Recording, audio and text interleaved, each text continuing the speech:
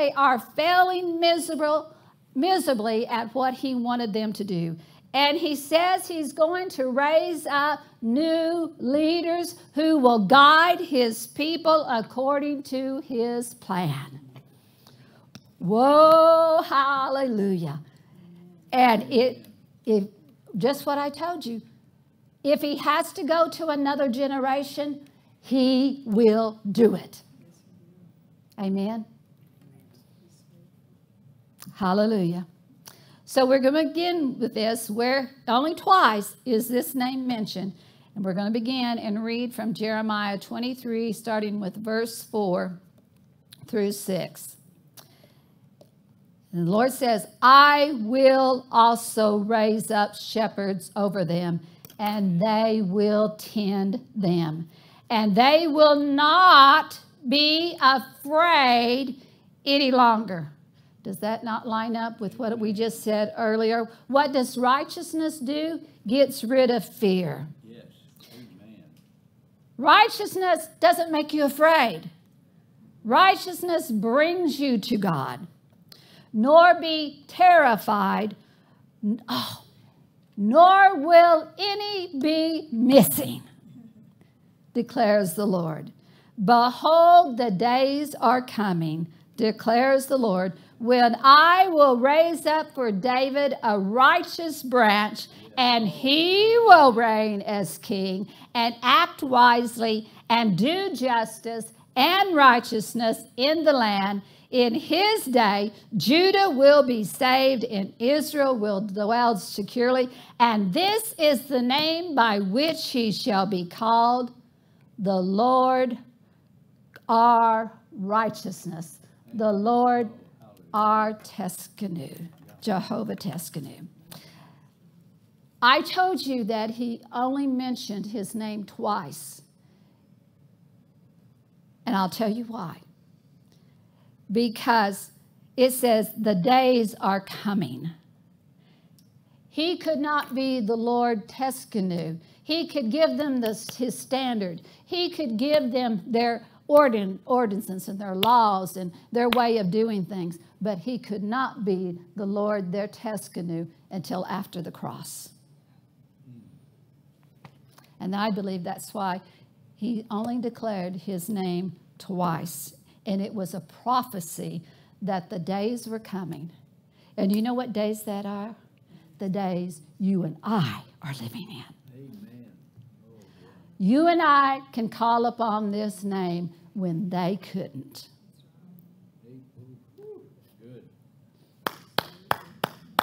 What a day to be. Even the disciples could not call upon this name.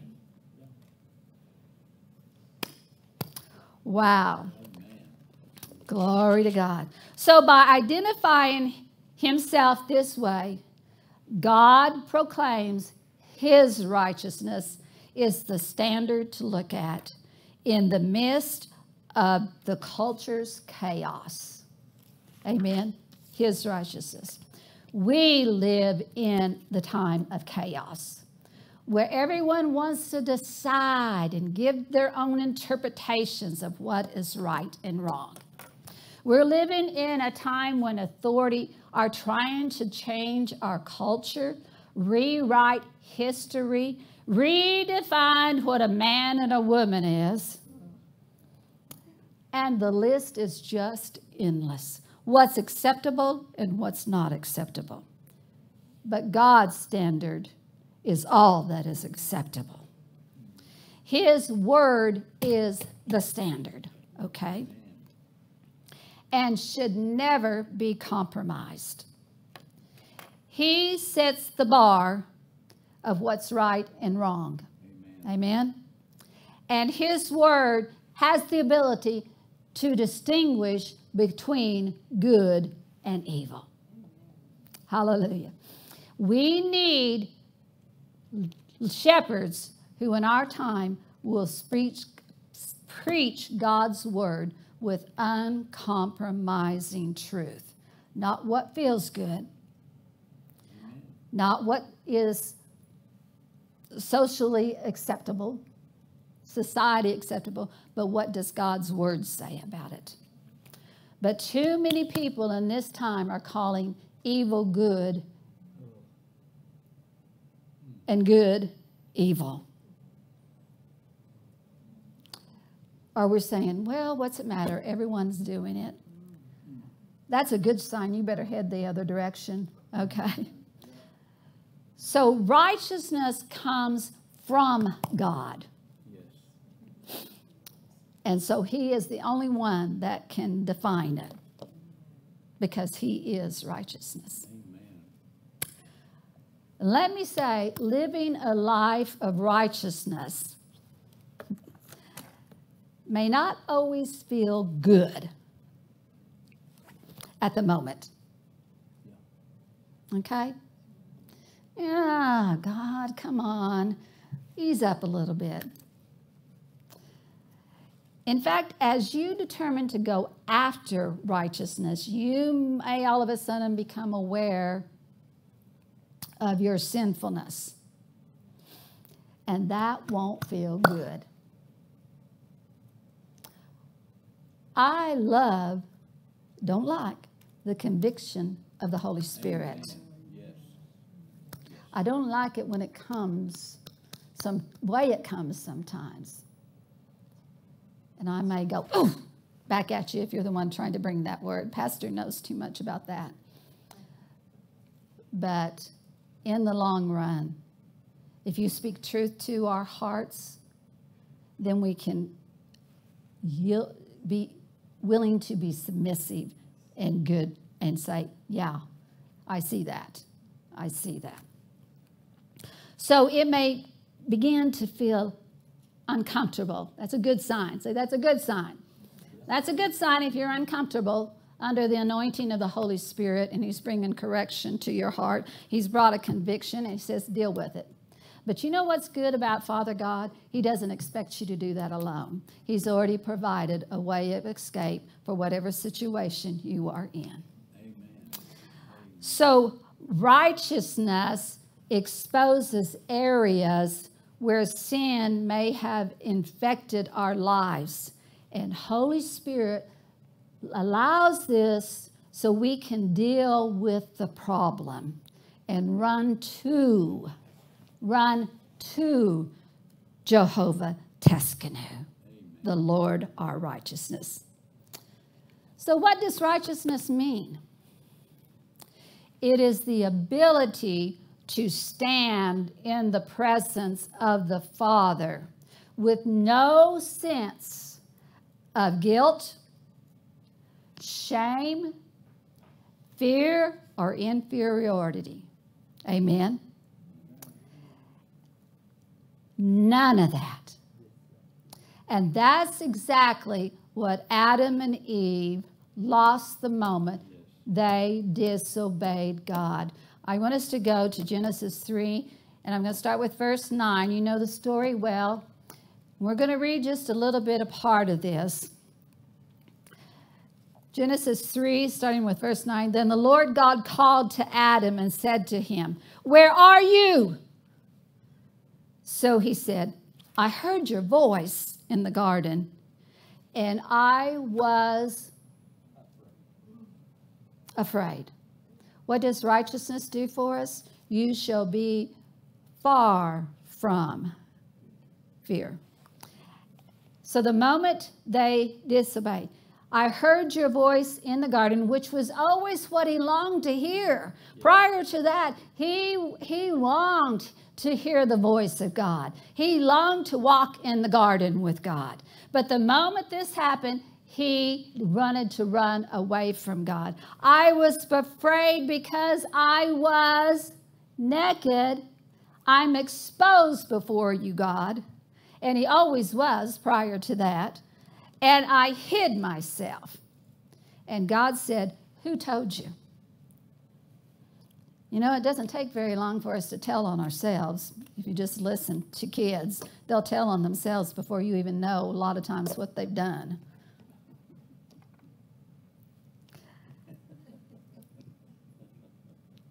Who told you that you were naked? Have you eaten of the tree from which I commanded you that you should not eat? Then The man said, The woman whom you gave to me. She gave it to me and ate. In four words, Adam has shifted the blame to woman and to God. And I want to tell you something. I would not be married to a man like Adam.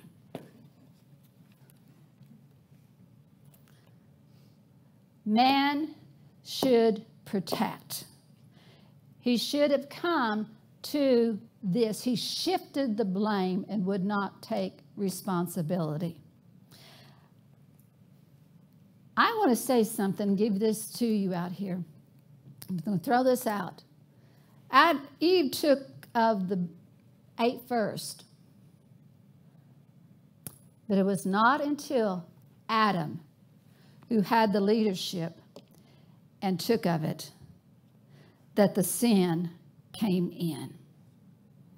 If he had stood his ground and not listened to the voice of the woman, I believe, and I'm just shielding this out to you, things would have been different. Because the blood line comes from man. And the minute this happened, the blood of Adam changed DNA. Sin came through to the bloodline. And from that moment on, everything shifted in man. Amen? Amen? Why do you think that when God was getting ready to take Israel out of Egypt, he told them to put what over the doorpost? The blood. Why not a cross? Why not a name? This house is the believers. These are Christians. Move on by. Because life is in the blood. And the blood DNA comes from the man. He, man had a grave responsibility in this. And for this, for Adam to shift the blame, it should, until he ate of it, the sin was not complete. Amen? So,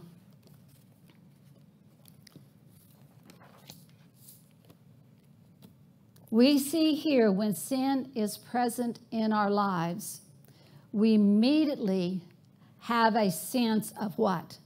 Condemnation, guilt, shame, fear, which are all products of a sin consciousness,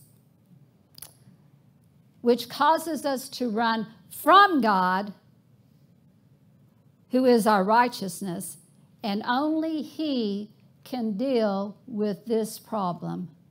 And that's exactly what God did. Amen. Man could not save himself out of this situation. God, it was a sin problem that was God's now. Have you ever had your child do something and your child could not take care of that situation and it became your problem? And only you now could redeem the situation. That's what God did. Yes, you have, Autumn. Don't shake your head. The sin problem became Father God's problem. Though man was the one that committed, it was God. And God dealt with the sin problem through his son. Amen. Hallelujah. He put away sin by the sacrifice of his son. He made it possible on legal grounds. Do you know that heaven has legal grounds in a courtroom? And it all must be justified there first before it affects the world. So, on legal grounds for you and I, who are spiritually dead, to and are in now in union with Satan to become a new creation by receiving the very nature and life of God. Hallelujah. And this new life, the nature of God, is called righteousness. Not based on what we can do, and not based on how much good or bad.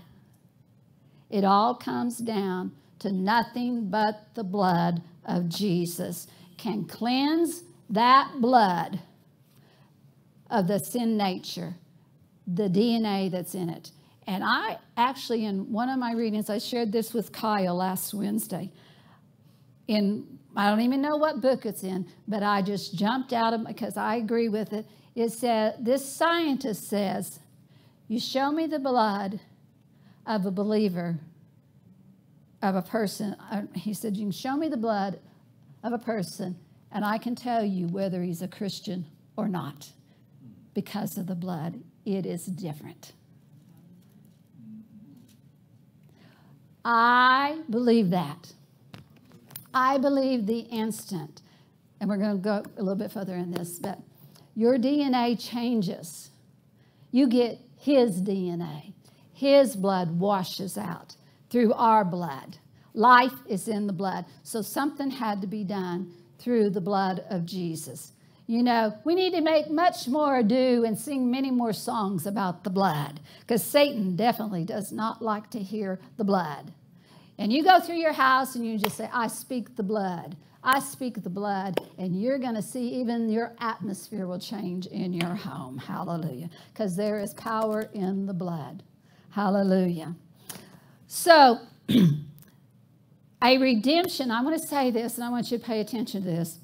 A redemption that does not make man righteous is useless. Amen? Amen. It's useless until man is righteous and knows it. Yeah. And knows it. Satan reigns over him. Sin and disease are his masters. But the instant that man knows he is the righteousness of God in Christ and knows what that righteousness means, Satan is defeated. Amen. Hallelujah. Think about it. Just think about Jesus. Think about the fearlessness of our Savior Jesus. In the presence of the Father, and when he stood even before Satan himself, he was fearless. Fearless. Amen. Righteousness gets destroys fear. He knew he had legal right in the Father's presence. He was the Son of God. Yeah. Hallelujah. He knew he was the master over Satan and all the forces of hell. He was fearless during the storm and he was able to speak with absolute authority. You understand righteousness, and you will stand with a voice of authority. Amen. Amen. Amen. Even in the presence of a large number of doubting people, Jesus was not afraid to say to a dead man, Lazarus, come forth. Amen? Yeah. And he had no sense of inferiority to death, hell, grave, or the grave. Wow. He was not afraid to speak to the blind. He was not afraid to speak to the deaf. He was not afraid to speak to the lame. Hallelujah. Glory to God. He was not afraid to say, Be whole. Righteousness consciousness is the answer and is makes you the master over all of Satan's devices. Amen. Hallelujah. So, what do we need? I tell you what, we need to preach on righteousness. Let's go into a deep study of righteousness. Wrap our minds around righteousness. Oh, hallelujah. All the other names are stacked upon this name. And in the armor of God, righteousness is our breastplate. What can guard your heart from all this other stuff? Righteousness. Put on the breastplate of righteousness. David cried out, Create in me a clean heart, renew a right spirit within me. What did he need? What was he calling out for? If righteousness was in his heart, everything else was going to work out. Hallelujah. Amen. Oh, hallelujah. You getting this? So, how do we attain this righteousness that will give us perfect fellowship with the Father, that will give us a consciousness of being masters over the forces of darkness?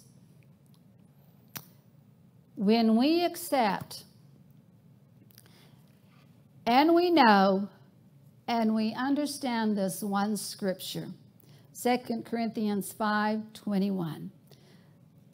I believe this was the beginning of a scripture that turned Messiah ministry around years ago. When we got hold of spirit, soul, and mind, and spirit, soul, and body, but when this scripture, the great exchange, clicked in our minds, things shifted. Amen? 2 Corinthians 5 21. He who knew no sin, he who knew no sin, God made to be sin on our behalf that we might become what? The righteousness of God in Christ. For he made him who knew no sin to be what? Sin. What a horrible, horrible thing. No wonder. Do you know that every, you, you can think of the most awfulest sin, most disgusting, and a lot of it's going on that just turns yours and my stomach. Some we couldn't even begin to speak of. It was put on Jesus. Every one of them. Past, present, and future. A man, God's son, who knew no sin, did not have that blood in that DNA in him. He knew no sin, made him sin. And not only did he do that, he who knew no sickness or disease couldn't live in his body because of the righteousness in his blood. Every hideous sickness and disease was put on him. He made him sickness and disease who knew no sickness and disease. You've got to get a hold of this great exchange of what Jesus became and what you became in the great substitute and exchange. He got your filthy thinking, stinky thinking, corrupt mind, corrupt sin. He got that, and you got his. Amen. Glory. he got your crippled sickness and disease, your pain, everything that happens to your body, and you got His. Amen. Hallelujah. Hallelujah. He became you, and you became Him in your spirit. Hallelujah. He who knew no sin, God made to be sin on your behalf on my behalf, on the behalf, that we would have the incredible, great exchange of becoming the sons and daughters of the Most High God. Hallelujah. We should just lift our hands and rejoice over that. And you know who understands this probably more than to the church, even? Satan. He knows it. And he tries to keep us from accepting the truth, walking in the truth, acknowledging the truth.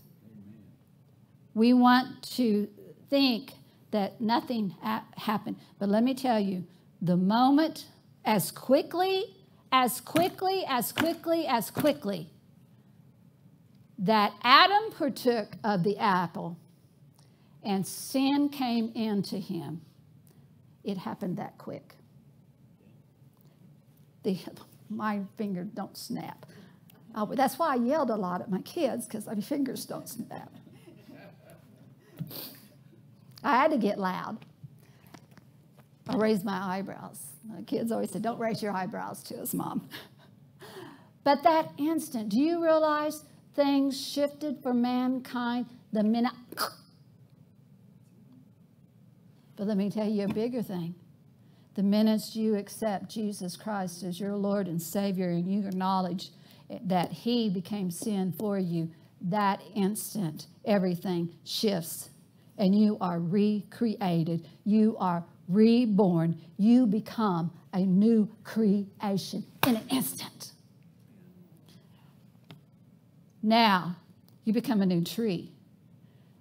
But it takes a while for the fruit to be seen on that tree. But don't get impatient with yourself. If you do, you have to be impatient with me because I'm still striving in the fruits of the Spirit, okay? But when we know that Jesus died for our sins as our substitute, and in the great courts of the heaven, that in, as Jesus sat down at the Father's right hand, he had already went to the mercy seat of God and placed his blood there. Pure blood. And when your and my accuser comes and tries to make accusations towards us, Jesus just points them to the blood.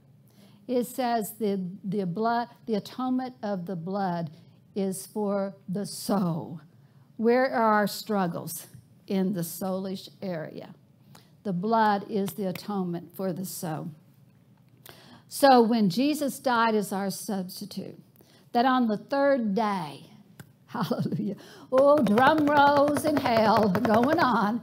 They think they've got him. They think they have done everything they can possibly. I mean, he don't even look like Jesus anymore in hell, okay? And they think they are, I can, in years of my imagination, can you just see the, uh, the celebrations going on. We got him, we got him. They're dancing around him, they're rejoicing in hell, and all the time, everything. I tell you what, on the third day, God finally says, Come on up, Jesus. Amen. And there was not one demon in hell that could stop him. Oh, hallelujah. I bet they were grabbing him, trying to grab him. And he just walked straight out of there. Went and picked up all our brothers and sisters over in paradise. And I tell you, I, it's just incredible what happened between the cross and the throne room of God is an incredible journey. We need to go down there.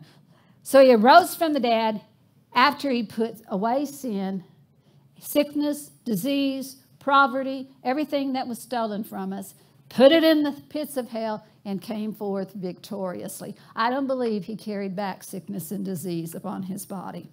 I don't believe he came back with sin on his body either. He came back as the King of Kings and the Lord of Lords. Amen. And when we take him as our Savior and we confess him as our Lord, that is the moment everything changes in our nature, and we become the righteousness of God in Christ Jesus. Do you know why Virgil always says he's so wonderful? He's not talking about himself, he's bragging on who lives in him. You aren't, are you, brother? You're bragging on the Lord. I love it when he does that. I am magnificent. I'm just wonderful because he recognizes. And when he's doing that, he's acknowledging the one who lives on the inside of him. Wouldn't hurt for all of us to get as crazy as Virgil, okay? So when we know that we are what God says we are masters, conquerors, and even more. 2 Corinthians 5 17. When we know that, therefore, if anyone is in Christ, he is a new creation. Old things, what old things? That old nature, that old bloodline passed away, and behold, all things have become new. And what a journey then begins. Hallelujah. I'm going to give you six things that righteousness was restored to man. Before I get into my sermon, I really haven't got to my scripture. so, Number one, very most important thing that was restored to us our right standing with God. Our right standing with God. Righteousness comes to us in the new creation and restores our standing with God the Father. Listen to me, on the same grounds that Jesus enjoyed in his time on earth. Amen. As he is, so are we. Righteousness restores to man his fellowship, not just with God, but with each other. Because let me say, righteousness between God and the Father, its purpose is to cause there to be also good fellowship with mankind. Uh, and that makes the cross fellowship between God and fellowship with man. Jesus referred to God as what? Father. And he enjoyed his father son relationship with no sense of guilt, no sense of sin, no sense of condemnation whatsoever in his spirit. 1 John 1 3. That which we have heard, man, after the the disciples got this. This is, this is something they said. That which we have seen, because it all began to make sense when they received their salvation. Up to then, they couldn't even hardly understand Jesus in his mission. Okay? That which we have seen and heard, we declare to you that you also may have fellowship with us, and truly our fellowship is with the Father and with his Son, Jesus. Hallelujah. Some just want to be Christians and not fellowship. It goes hand in hand. Amen. Righteousness restores to man his lost faith. Jesus believed in the Father, he believed in himself, and he believed in his mission. He knew whatsoever he asked, he would receive. On John 5, 1 John 5 14. This is the what? Confidence. Your salvation needs to bring you confidence. This is the confidence we have, not in ourselves, in Him, that if we ask, what if we ask, what's the next word? Anything according to his will, he hears us. Hallelujah. Righteousness restores our peace with God. Isaiah 57 20 through 21 says, But the wicked, I'll give him just a moment. But the wicked are like the troubled sea when it cannot rest, whose waters cast up mire and dirt. There is no peace, says my God, to the wicked. And Pastor made reference to this that earlier that God's Jesus said, "My peace I give unto you." What's going to sustain you through everything? His peace, having the peace of God. Righteousness restores freedom. The greatest freedom is not political freedom or freedom from financial worries or physical discomfort, but freedom from sin consciousness. Sin consciousness. The kind of freedom that Jesus had freedom from the fear of Satan, freedom from the fear of man, because he now trusts in God with all of his heart. Hallelujah. Hebrews 9 11 through 14, and I am going to go back up to that. Okay, I'll just read it from there. But Christ came as high priest of good things to come, with the greater and more perfect tabernacle, not made with hands, that is, not of this creation. Now, not with the what? Blood. blood. We're going back to the blood. Righteousness deals with the blood, okay? Not with the blood of goats and calves, and that's all they had to use, and all that it could do was cover sin. But with his what? Own blood. His own blood. He entered the most holy place once for all. Didn't have to go every year like they always did. Once for all having obtained eternal redemption. For if the blood of bulls and goats and the ashes of a heifer, sprinkling the unclean, sanctifies for the purifying of the flesh, it's not enough. Ooh, say this with me. How much more shall how much more?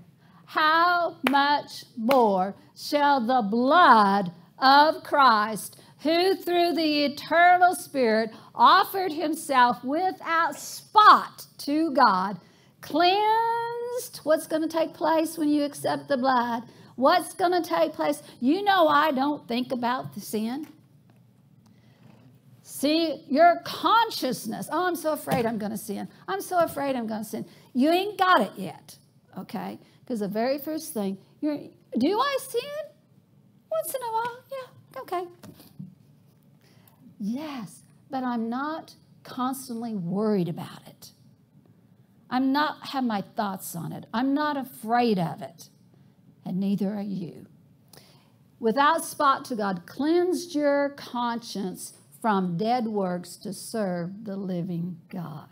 How much more? Hallelujah. Glory to God. What can wash my sins away? Nothing but the blood of Jesus. What can make me whole again? Nothing but the blood of Jesus. Oh, precious is that flow that makes me white as snow. No other but I know, nothing but the blood of Jesus. Your righteousness is, it costs the blood of Jesus. Your righteousness is the most valuable possession you can behold. Hallelujah. Your righteousness. It is the, you got his righteousness. Value it. Take care of it. Honor it. Respect it. Walk in it. It is his righteousness that was put in you. Oh, hallelujah. Ooh, where am I now in these notes? Glory. John 8 36 says, If the Son has set you free, you are free indeed. Number six, righteousness restores your sonship. We are the sons and daughters of God. Romans 8 36. I believe we have this witness. The Spirit, and I know because I've been speaking about it. The Spirit bears witness with our spirit. Let me see. Romans 8 16. Okay. Okay. Thank you. And I'm going to go to 17. The Spirit bears witness. Do you have that witness? Do you have that witness? You're supposed to. You shouldn't be doubting your salvation. The Spirit, the Spirit, listen to me, live stream. You should have this witness as a child of the Most High God. It's not something I'm, I'm not not boasting anything in myself. I'm boasting in the Lord. Amen. It's not something that I take lightly, or neither should you. But you should have this witness and be able to talk very freely and openly about it. The Spirit it Himself bears witness with our spirit that we are, we are, we are children of the Most High God. We are the sons and daughters of the Most High God. I changed father and got a new bloodline. Hallelujah. Hallelujah. And not only that, then heirs. I inherit everything that Jesus has. I'm an heir. I'm an heir of God, and I'm joint heirs with Christ Jesus. Woo!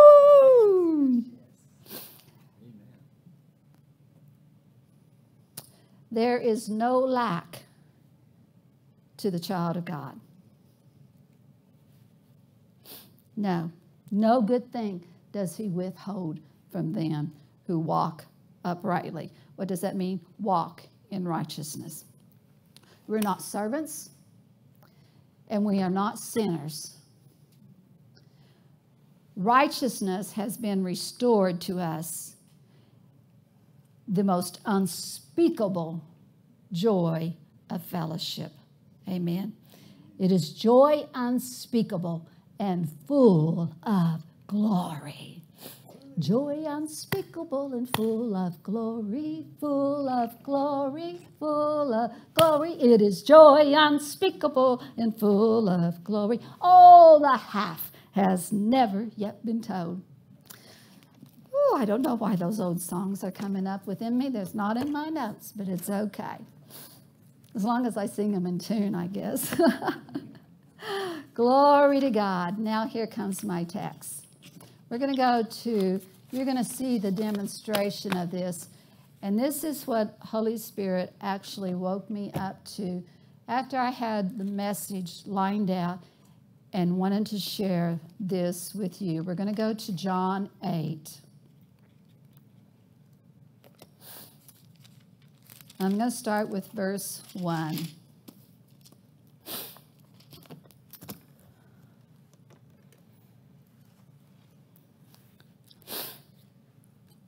Hallelujah. Jesus went into the Mount of Olives, and early in the morning he came again into the temple, and all the people came unto him, and he sat down and taught them. And the scribes and the Pharisee brought unto him a woman taken in adultery. And when they had set her in the midst, they said unto him, Master, this woman was taken in adultery in the very act. Now, Moses in the law commanded us that such should be stoned. But what sayest thou? This they said, tempting him, that they might have to accuse him. Who do we have that wants to constantly bring accusations? The accuser of the brethren is in is on the scene here. Amen. But Jesus stooped down and with his finger he wrote on the ground. So he didn't even hear them, he heard them not. Wasn't enough. So when they continued asking him, they continued, What sayest thou? What sayest thou? What do you say about this, Jesus? He lifted up himself and said unto them, He that is without sin among you, let him cast a stone at her. And again he stooped down and wrote on the ground. And they which heard it, now listen to this, being convicted by their own consciousness. Why? Because they didn't have righteousness. And they are the leaders of the church. They are scribes and Pharisees. They are the leaders of the church. And being convicted by their own consciousness, what does righteousness give you? A clean consciousness. And let me tell you something about a righteousness spirit it doesn't expose sin in somebody else, it chooses to cover. It's what love does. Went out one by one, beginning at the eldest, even unto the last. And Jesus was left alone, and the woman standing in the midst. When Jesus had lifted up himself and saw none but the woman, he said unto her, Woman, where are those thou accusers? Has no man condemned thee? She said, No man. Lord. What name did she? I wish that our Bibles were Hebrew Bibles because you would see when she said Lord, Jehovah Tsidkenu, the Lord my righteousness. When the woman with the issue of blood touched the hem of Jesus' garment, what name did she pull from? Jehovah Rapha, the Lord my healer. She pulled from that name. This woman pulled. She had no righteousness of her own to stand in. The Lord my righteousness. And Jesus said to her, Neither do I condemn you. Go and sin no more when the Holy Spirit broke me up about this scripture, I've been thinking about it. But I noticed in this, and what he brought to my attention, this woman's name is not mentioned. She's called woman. Why did he not call her by her name? Does God not know each of our name? And how special when he said to her, if whoever was, whoever that, why did he not call her by name? Woman. And that's all she's referred to. I don't believe it's not to draw attention to. I believe the Holy Spirit's saying there's significance here. Satan hates woman because of Genesis 3 Here's what he was trying to happen. Go back to Genesis 3, I believe it's 15.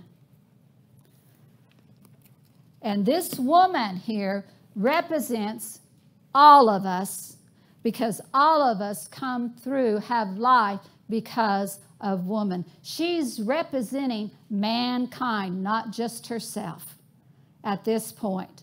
Woman, woman, woman. And in Genesis 3:15 it says, "I will put what? Enmity between you Satan and the woman.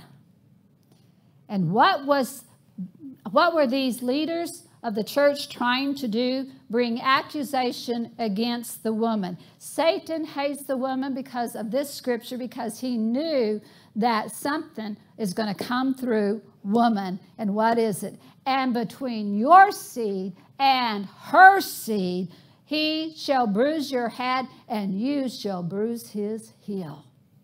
Let me tell you, women of God, God has a calling through women. And Satan continually tries to destroy the woman's image. Amen. Hallelujah. Hallelujah. But he did not call her by her name. Oh, how, because she's representing us, all of mankind. And as Isaiah 61 10, it says, He has clothed me with garments of salvation. I'm going to, He has, Isaiah 61 10, He has clothed me with garments of salvation. He has covered me with a robe of righteousness. Oh, hallelujah. He has, and at that moment that Jesus spoke to her, neither do I contend, con, condemn you, he just covered her with the garments of salvation and lifted her up in the most humiliating, shameful, disgusting situation. Can you imagine what she went through? Pulled and drug out into the city, the, the streets. And all was, everyone was seeing this going on. But oh, when Jesus reached down and when he said to her, he just put that garment of salvation over her. She said, Lord. And he knew her greatest need at that moment righteousness. Righteousness. Neither do I condemn you. And he says that to all of us. John 3 16, starting with verse 17. You know this one well. For God so loved the world that he gave his only begotten Son, that whosoever believes in him should not perish, but have everlasting life. For God did not send his Son. Oh, get out of that. He did not send his Son into the world to condemn the world, but that the world through him might be saved, might receive of his righteousness. He is our Jehovah Tsidkenu, the Lord my righteousness. Hallelujah.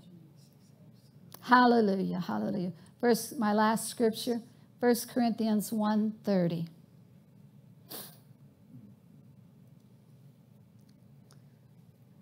By his doing, but of him you are in Christ Jesus, who became for us and here's another exchange wisdom from God and righteousness and sanctification and redemption.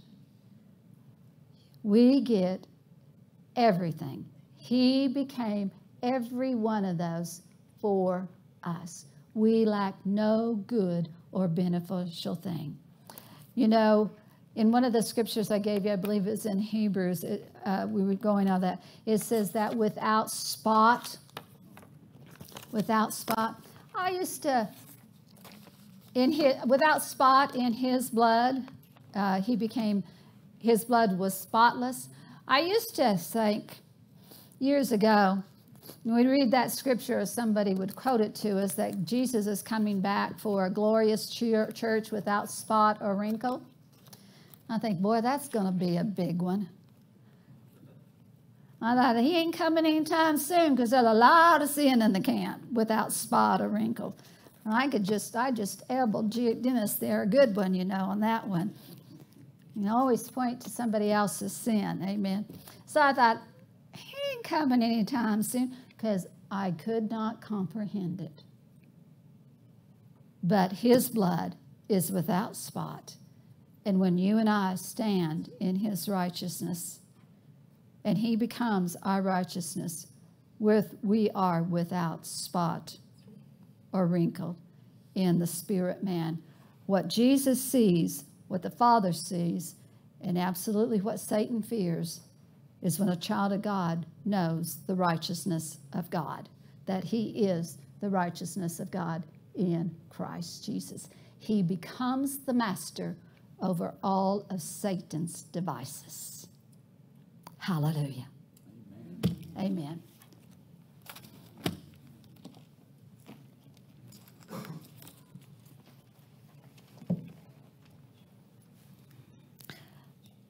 As, are you going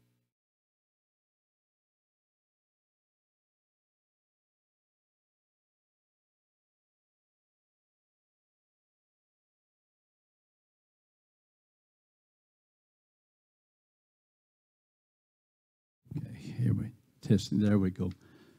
That was fabulous. Good job. And that was Holy Spirit revealed.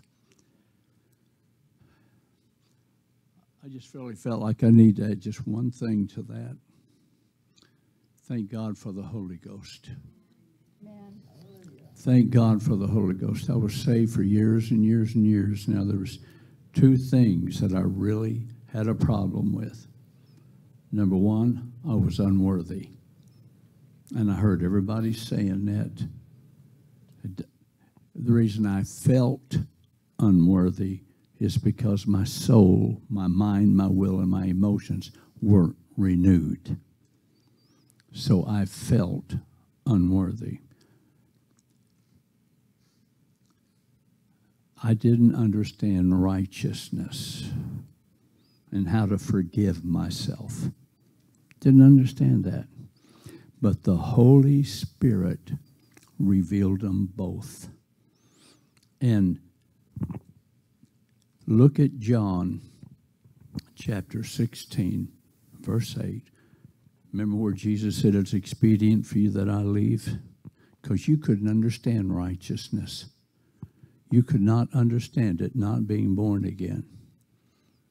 But after you're born again, the Holy Spirit reveals it to you. And I'm not going to go into it, but you remember the story about how Jesus revealed himself. When I was saying I was unworthy, he told me that I was degrading the blood of Jesus Christ.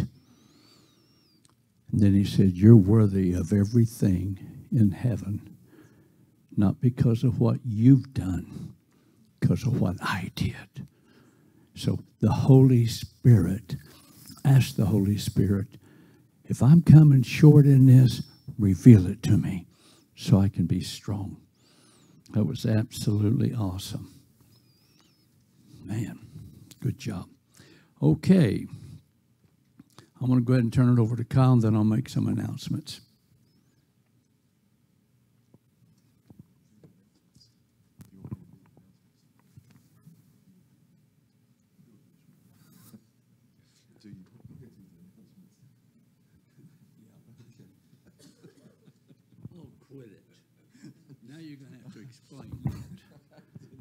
When I was in Vietnam, and I haven't received my healing yet, but he's already healed me, okay? But anyway, a cannon went off behind me, and the compression of it, boom, this side of my head. And I don't hear out of this ear nearly as good as I do the other one. So that's why I. Excuses, excuses, excuses. Oh my goodness, the excuses.